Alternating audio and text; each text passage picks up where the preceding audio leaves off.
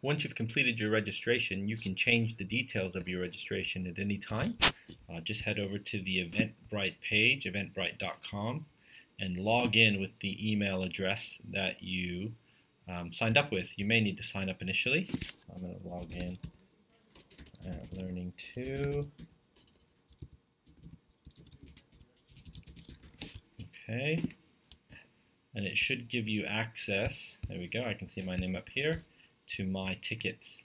And if you click on My Tickets, you should be able to get to your Learning 2 Asia or Learning 2 Africa um, order and just come over to Manage Orders.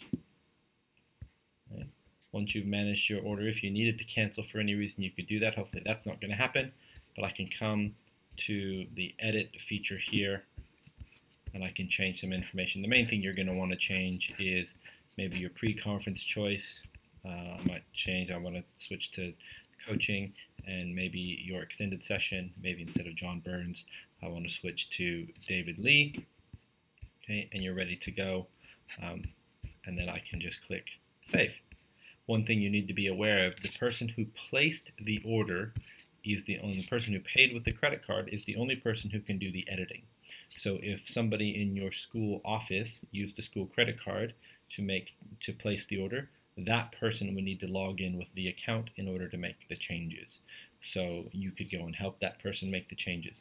If you used your own credit card, then you could make these changes at any time. Of course, it is subject to all of the limits on the, the different sessions. So if you were in uh, one extended session and you switched to another and decided you want to go back to the original one, if it's full, then you won't be able to switch back to that. So please uh, be careful when making those changes. Um, know that it is subject to maximum session sizes and uh, have fun.